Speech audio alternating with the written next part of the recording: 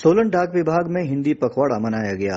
Superintendent रतन चंद शर्मा ने बताया कि डाक विभाग में सारा कार्य हिंदी में किया जा रहा है। शत प्रतिशत कार्य हिंदी में हो रहे हैं, इसके लिए नागरिकों को भी प्रेरित किया जा रहा है। नागरिकों में मातृभाषा की जानकारी की गुणवत्ता में वृद्धि करने के लिए कर्मचारियों और ग्राहकों दोनों को हिंदी के प्रति जागरूक भी किया गया है। उन्होंने बताया कि हिंदी पखवाड़े में राजभाषा मंत्रालय भारत सरकार की योजना के तहत विभिन्न प्रतियोगिताओं का आयोजन होगा, जिसमें कर्मचारी वर्ग में हिंदी की अभिरुचि को कैसे बढ़ाया जाए, इस पर भी चर्चा की जाएगी।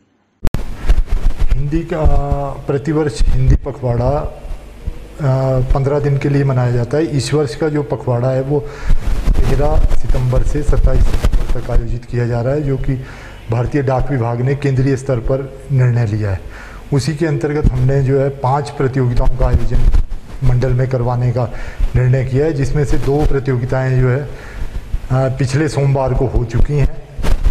दो प्रतियोगिताओं का आज आयोजन किया जा रहा है, जो एक इनमें से निबंध प्रतियोगिता है, निबंध लेखन प्रतियोगिता हिंदी में, और दूसरा जो है सामान्य ज्ञान प्रतियोगिता है, जिसको लिखित में किया जाएगा।